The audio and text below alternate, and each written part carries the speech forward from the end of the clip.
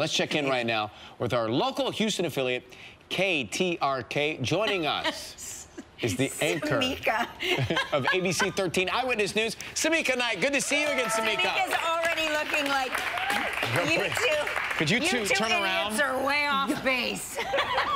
Well, Y'all are cracking me up, cracking me up. It's Houston. We say the H, so Yeah. maybe that's what you were thinking, Ryan. The yeah. H. No, no, I wasn't thinking anything. He's not pronouncing his consonants this morning. Okay. Tell us about, do you know why wanna Limburger is off limits on Sunday? Um, let me think. No, I don't. Where are you right now? Oh man, Ryan. So we are in uh, Buffalo Bayou Park, which is very, very close to downtown Houston. I want to give you a look at this beautiful Houston skyline as you look at also the beads of sweat on my face. Um, but I'm also along the Sabine Bridge.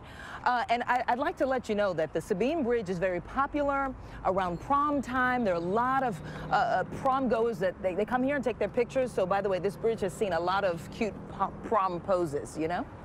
Do- I bet a lot of hearts have also been broken on that bridge, right? Like little heartbreaks here and there. Probably. Yeah, probably. Probably. Now, how's the humidity and the weather today and for the rest of the week?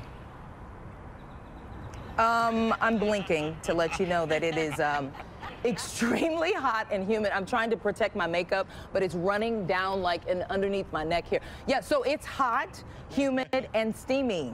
You can't tell. You can't. I- I'm telling you, you look gorgeous. I would not know that it's hot, humid, or steamy. It, everything looks perfect. Don't be alarmed. Okay, we're gonna check in with you later. Thank you for being here today. We'll see you later.